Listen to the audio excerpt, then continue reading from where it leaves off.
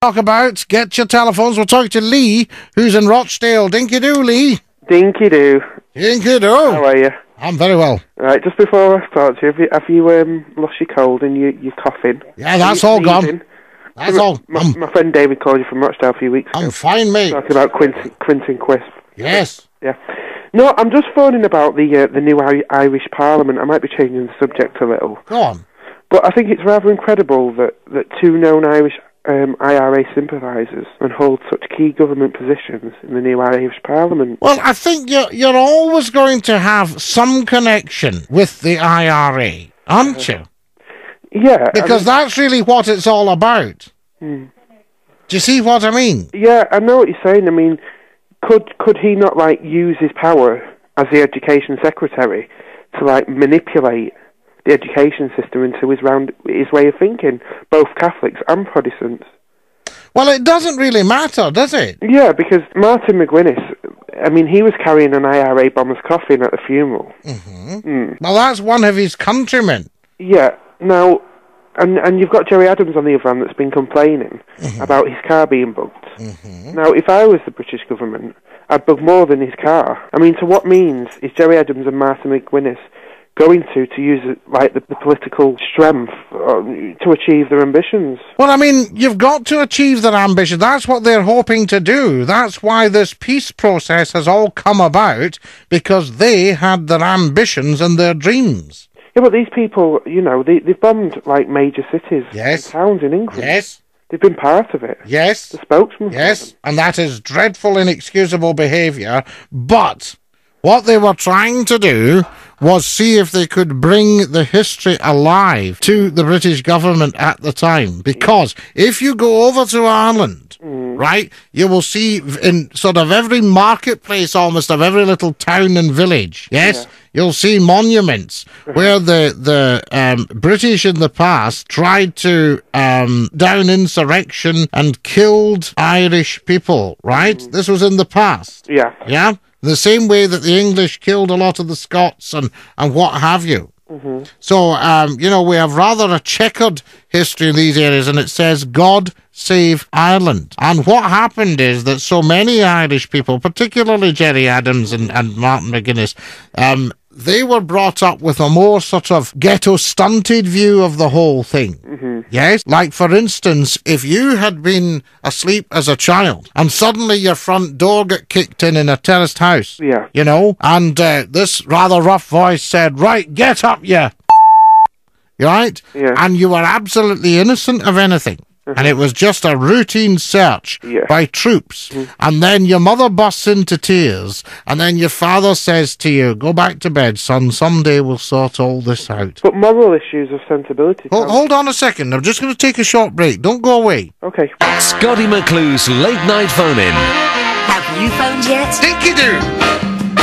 The Scottie McClue late night phone in. 01. Right, Scottie McClue's megaphone in. Now then, are you Yeah, still right. there? Yes. Now then, give us your chat here. What point were you actually making? The point I'm making is that if you breed somebody in the, the way that you want to breed them, whether it was Hitler with his blonde hair, blue eyes, the perfect people, or whichever country does it, Lenin, Stalin, and whichever, if you've got an aim in life, if you can't achieve that aim at that particular time, you can lead the way to, to make a perfect society in 20, 30 years' time to come. And I personally think that Gerry Adams But what's wrong with a perfect society? nothing whatsoever. Uh, uh, uh, the, the thing that's wrong with it is, it might be a perfect society to you, Yeah. um, but it's not a perfect society to anybody else. Like, if you could breed children in, in 10, in 10, 20, 30, 40 years to, to breed them into your way of thinking, But that's what that's what the church has been at for five hundred years, a thousand years. right, well, we're not talking about that. Yeah, yeah, but no, because Yes. No. Yes, I because- spoken to you be- no, I've, I've spoken to you before about gay people and Quentin Crispo was on when don't Yeah. start sneezing again. Yeah. No, Yeah, I won't start sneezing again, No, don't. Um, if you if if people have a plan to program people into their way of thinking, and other people are backing them up to, to breed people into their way of thinking, in not in their lifetime, maybe not. But that happens. This goes on all the time. This is why you've got British people and Irish people and American people and Russian people because we're all bred into a certain way of thinking. When it gets to violence and when you, you're bombing people and you're destroying towns, you're destroying cities, when it gets to violence, then I believe that that is the wrong way about it. I do. Well, of course, it's the wrong way about it. But look, but look, what were we doing with NATO? What were we doing with Saddam? What is Saddam doing to his people? What was Hitler doing to his people? What is uh, Russia doing in in, in Grozny? Uh, in, in Now, Chechnya? then, You know, yeah. But they've got the, the reason. What happens a lot of the time now is like in Chechnya with Russia. They got. I mean, listen, listen, David, David, look, you're not going to be able to sort the problem out. We know that from 400 years of history, right? You're not going to be able to just rerun the tape and not have all that. It has already all happened. No, but Right, so what you've got to do is find a solution. you have got to find a solution, yes, and you have got to talk about it, and you have got to solve the solution. Yeah, I quite agree. And the the the, the thing in in Ireland now it is being solved. They've got their own parliament, whatever. What I'm saying is now, could they not manipulate that now into their own way of thinking? I mean, the two people, the main people that. Are Well, I would imagine that's what they're going to do. Well, I should imagine so. Because that's what you do do. That's what it's all about. Politics are the art of the possible. So in in 50, 100 years down t- down the line, 100 years time down the line, not only have we got a, the situation that we had, we've solved that situation, but in the, the end of the day, we're going to make it even worse than it was in the first place. In what way?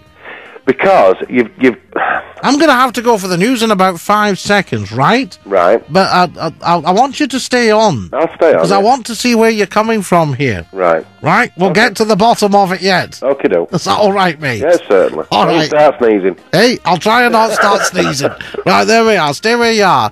Okay, folks, uh, 11 o'clock coming up. Of course, if you're on the line and waiting, stay there. We will get you all on. You're listening to Scottie McClue's Megaphone In, and we're live on Century Radio, the UK's number one. And uh, before the news, we're talking to Dave from Rochdale. Dinky do, Dave. Think you do, Scottie. Now, mate, where did we get to? I don't know. I was hoping you'd tell me. Right, right. Now, you obviously have a problem, yes? Well, I wouldn't say it was a problem. No, but you're you're interested. You're concerned about the bugging of uh, Gerry Adams' car.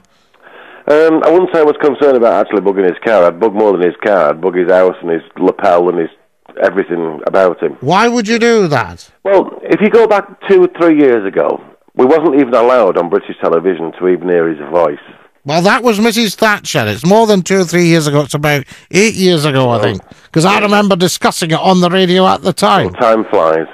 What I, I feel very suspicious about these people now that are being put in the, the position of power that they're in. Could they not manipulate that power? If they can manipulate it the way they have done now, you've got people that have been known linked with the IRA, known carrying bombers, uh, coffins, and Yeah, but you see, you it. see, to be honest with you, the IRA is part of the whole process of of Irish history. It's it's an integral part of the um, the troubles Yeah, I quite agree. and the and the the the uh, the uh, terrorism and the mischief making and the troublemaking and all that. The IRA has been with us. I mean, for goodness sake, there was a bomb in Oxford Street in London in 1940. And the same day that they, they buried, do you remember John Buchan, the author? Yep. you know, Lord Tweedsmuir. Well, I mean, you know, the the day the, the, the of his uh, memorial service, there was a bomb in Oxford Street in 1940. And you see, you've got to remember that the Irish government actually outlawed the IRA. What it is, what I think is this. What has happened with this Irish, we've actually given in, and we've, no, we've given concessions. And No, no, listen. I think you're coming at it from a you're coming at it from a very stereotypical angle, right? Let's look at it from another way. Right. And this is this is just me showing you the other side of the mirror, if you like. Here are, are people like Gerry Adams, Martin McGuinness, and all the hundreds more, right? Hundreds and thousands more who were brought up um, under this sort of regime Right. right, of British troops going into Ireland to, or going into Northern Ireland, going into Ulster to um, take control of a difficult situation. At the time, it was a time bomb, right? Yep. Now, rightly or wrongly, the situation was handled in that way because the British troops were the agents of the British government. Right. There has been uh, huge cries for home rule in Ireland for years. There were the Phoenix Park murders. You go way back to the 1800s, the 1700s, the 1600s, Yeah, William of Orange, yeah. the 1500s. Right. Right? When, uh, uh, you know, and during that you had Britain at its most imperial, colonial, and empirical. And what many people don't realize is at one point in the late 1700s, Britain and Ireland were almost bankrupt together. Yes? Mm-hmm. So Ireland, which at that time was was mainly like Scotland, a peasant nation, Right. yes, Yep. um, was carved up for the British aristocracy. Yes? Yep. So there's a long, long history of oppression. Mm-hmm. Now, successive British governments, up until, well, really the Thatcher and Major governments, the Thatcher government, shall we say, mm-hmm. right, um, still fought their their historic for their historical position as they saw it, right? Yep. Now remember that you didn't have the emancipation of of Catholics until when was it? The 1800s, I don't really know. Obviously, you're more clued up, Scottie. McGee, right? Obviously. Well, that Right. was that was that. Let me just give you a couple of points because there's a lot of little known facts because it's obviously not taught in British history. It's very much a them and us situation. Now, then the the the, the British view changed. That really, um, for instance, Edward the Eighth, who abdicated, met Prince Charles when Prince Charles had just become Prince of Wales. Right. And he said that, you, you know, you will always have a job with the hardened Ulstermen. Now, this was in the 20s and 30s Yeah. when he was Prince of Wales, Edward VIII, right? So, you, you know, that was on one hand. Then, obviously, there was a view. I won't say, you know, I won't tie it down to a specific party, whatever, that really, with the general decolonization throughout the globe of Britain, with the ending of imperialism and empiricalism, right? Um, Ireland must be returned to the Irish people, but it had to be a peaceful Ireland. Yes? Yep.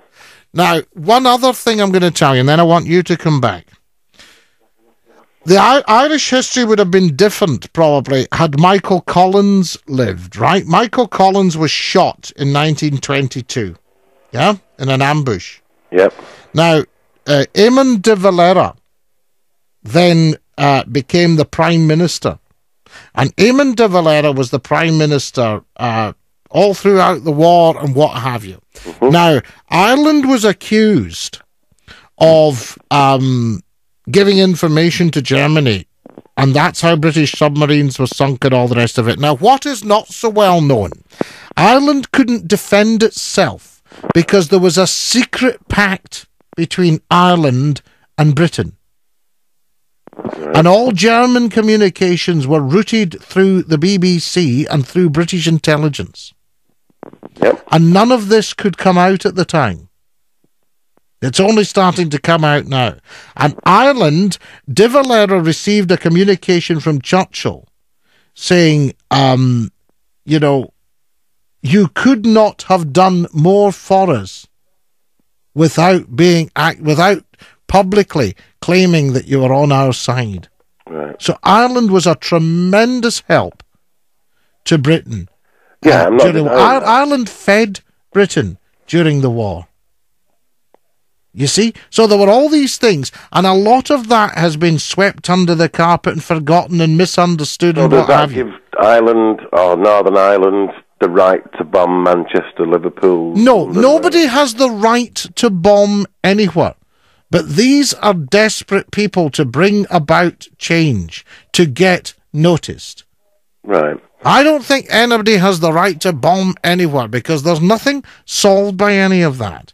So I'm I'm okay then to say, um, okay, a rebel without a cause, I'm I'm okay to say to you then. I've got a cause that, uh, like I spoke to you last time about coincidence, because I'm gay.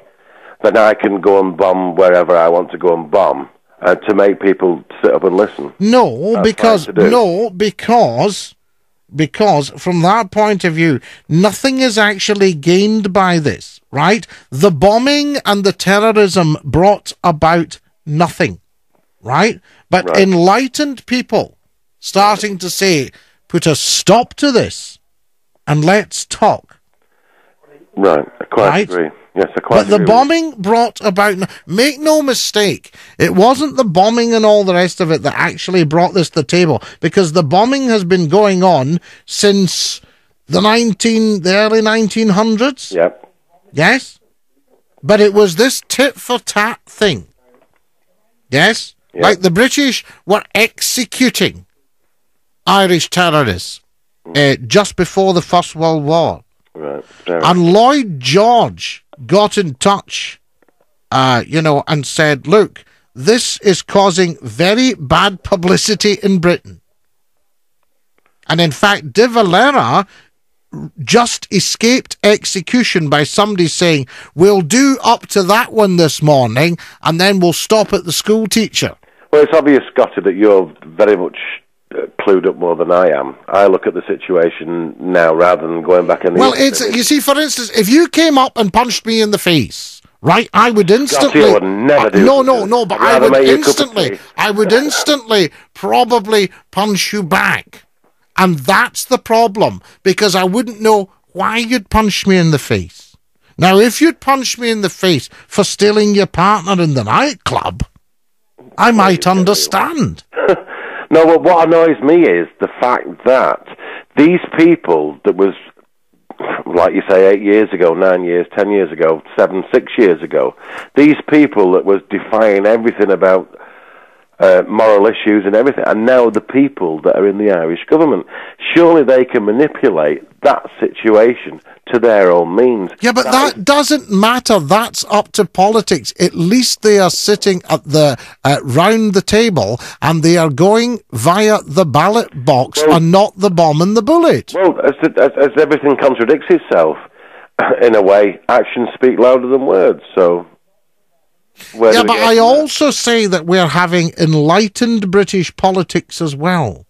No, I don't. I, what I think is happening is that people want peace so much that they're willing to um, back down and accept whatever is on the table. Because, do you know? No, it's not that- accept. No, listen, you're not accepting whatever's on the table. You must you- remember there are years and years and years Scottie, of you've got talks and discussion. because you can turn me down. I can't turn you No. I'm not turning you down. But- I haven't turned you down.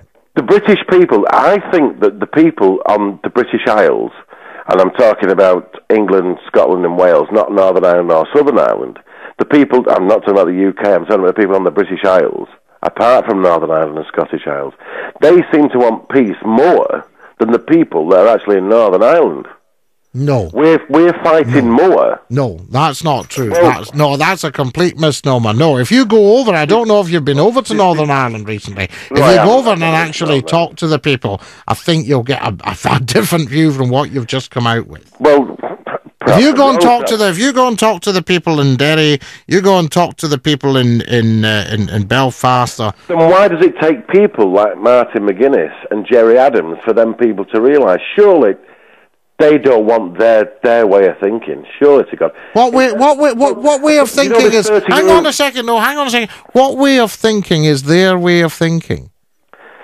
This 30 year rule we've got, like the government, after 30 years, you've got to um, tell everybody what you did 30 years ago. Do you know the, the rule I'm talking about? Of course. Right. I think in 30 years' time, me and you should have this discussion again. And I think then, perhaps I'll uh, be wrong in a few points, and I think you will be as well. Because I think. At, at Well, what points? What points do you think I'll be wrong in? At the end of the day, really, basically, everyone wants peace wherever they are. But you wouldn't. If it was Hitler that was now saying we want peace in Germany or wherever he is, would you trust that person to do to do that? Well, you see, you see. For instance, in- for in- instance. in- well, all right. You've cho- you've you've you've chosen you've chosen Hitler there, right? right. Now, um, Hitler had one or two good ideas. He had superb ideas. Right, and Hitler also was doing it, f- uh, you know, a lot of what he did to uh, release his people from oppression, as he saw it. He'd been terribly badly treated. I don't know if you've read Mein Kampf, My Struggle, but he'd been terribly badly treated by the establishment. He was a corporal in the army. He was gassed. He, he was in poverty. He saw uh, Jewish control of the money, and everywhere he turned, the people with the money were uh, were Jews. You know, were Hasidic Jews, and um, he, uh, uh, you know, thought this is wrong. He wanted to redress the balance, but the whole thing got out of hand. The whole thing completely ran away. But I have to also say that had Churchill not been a consummate warmonger, he may have done a deal with Hitler sooner Yep. and yep, saved an awful lot of death. Yeah, yeah. I can't argue, Scottie. You've tied me in knots. You see, that's the whole problem. It's all to do with how big is the mind of the politician and the very fact that we've got to Gerry Adams and Martin McGuinness around the table with David Trimble. Right? Yeah. And, and, and, and John Hume and, uh, and, and all the others. Um, you know, have they have they backed down on their views? It's not a question. Listen, it's not a question of backing down. There's always got to be compromise to have progress. exactly. But are they compromising to get the Well, end everybody result? has everybody has to compromise because one Well, they side one side wants you know um, a, a, a Protestant Unionist loyalist Northern Ireland run by Britain. That's where one side were at, at one point. The other side want the British out of Ireland completely. Is it, they reverse, want is it reverse psychology where yeah we'll sacrifice now to gain in the long run? No, I'll tell you what it is. I'll tell you what it is. If people didn't get on and do some serious work, because these are all clever men and women, you know, they are not Yeah, but can they be trusted?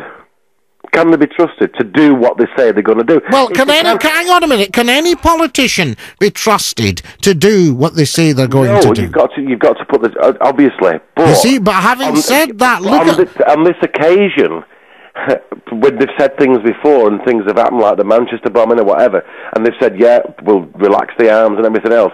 Do we really believe what is going to happen? Well, I think So if you don't, you see, if you don't believe, then you're no further forward. You can forget it. For instance, if you don't believe that it's okay to be gay, then you can go into a deep depression and end up in the nut house, right? Because you feel you've got all- something wrong with you. like they talk, but then there's the saying, "Actions speak louder Hey, than listen, words." Hey, listen, I'm No, sorry, but I would rather there was talking going on than bombing. I quite agree. I quite agree with you. So, I mean, never ever fault talking. No, I, I- but are people talking in this situation for their own means at the end of the day? Whether Well, I it's hope so. we'll Yes, I never know. hope so. I hope so. Well- because everybody's got their, there are several vested interests, right? But I think people have got to wake up and see that economic development is the main interest. For a start, war, maiming, killing, bombing, bulleting, all the rest of it is not popular anymore globally. Well, And no, I don't anybody that it ever goes in, that's but- why. No, no, no. It's been popular at times. That's why you had uh, uh, leaders like uh, Jomo Kenyatta, who was a wonderful president of Kenya, was originally involved with the Mau Mau, right in the 1950s. Right, and Jomo was a wonderful president, a lot of stability throughout Kenya and throughout East Africa. Right? Um, so, so that that sort of thing. Now, what we need in Ireland and in Britain now is stability. I agree. That's the whole What, thing. there- and remember that Gerry Adams and Martin McGuinness were brought up in Ireland. They are Irish. They are Irish people. Favourable. They do belong there. is, well, they haven't got a, a good track record, and that's what you've got to go after, isn't it? You've Well, well, to, well- You can only go off the track record, and you've only got. It, it might be fine that they're going to do everything that they want to do, but you can only go off somebody's track record, and you've got to go off that and that's the only thing that can lead you into the future. Yeah, well, who- what, what they've left behind in the first place. Yeah, but listen, listen, what they blundered into in the early days now has been translated So you into. can say, Scottie, you self, yourself personally, never mind the radio. yeah, but wait a minute. Now has Can been you trans. say Just a minute, though. 100% that No. you're sure that they have got genuine reasons to get peace and get everything sorted out? I think they have got genuine reasons to have Yeah, peace. can yes. you say yes, I personally, can. 100%, Yes, I do you have that little Yes. niggling feeling No. I don't have any niggling feeling, and I'll tell you why. Because the reputations as statesmen are at stake now. Right, because they're now more in the public eye, so they'll be allowed. No, it's not even the public eye, it's the fact their reputations as statesmen because, you know, the bluff has been called Right, and their reputations as statesmen. and there's still no decommission of arms. Well, I mean, you see, if- it was me, and I, I don't want to get involved in this because I'm not a politician, I'm, uh, we're not a political program. Got your editor hurt a nerve there. No, no, I was just going to say to you, if it was me, I would say, what is your problem? And they'd say, we're not giving up. And I would say, well, put them in a museum. All we're saying is don't use them. Fair enough. So it's okay to bomb as long as the. the excuse out- me, uh, excuse me, are you, have you completely lost your brain tonight or something, No, Dave? all. What do you mean, so it's okay to bomb? When did I ever say that? No, you didn't. No, Thank you. no you didn't. Now, come on. Right. So right, less I'm of it. I mean, you know, now. you know, if I'm if I'm going to talk right with a grown-up voice, then you should as well. Yeah, I it is. I never it. okay to bomb. I made that clear. Right. Okay, I do apologise. Right. There is never an excuse for Right. well, I'm going off the line now. I'm going to have some more to think about now. Right, and then come back on once you've had a think. The lady that was on last night. Yes. He was trying to explain to her about the year 2000. Yes. The easiest way to explain it is when you're born, you go 12 months without a birthday. That is the easiest way to explain it. Are you with me? Think you do. See you later. See you, pal. Bye. Bye now. Right, there you are, folks. You can give us a call. Uh, I'll give you the telephone numbers.